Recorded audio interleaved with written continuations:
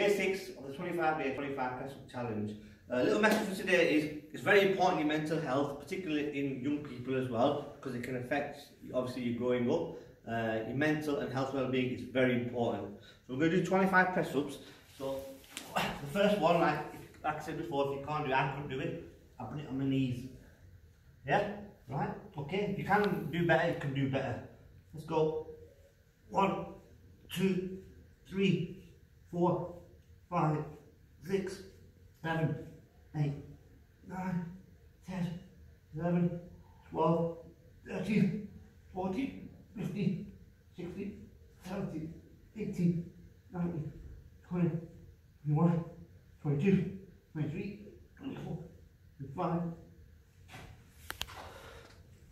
Right. Message is we're looking at some literature from Mind saying that, listen, the emotional well-being is very good. One tip I'll give you, if you're getting crossed and you want to say something, but you stop and say and you get the... Write it down. It'll help you. Alright? See you tomorrow for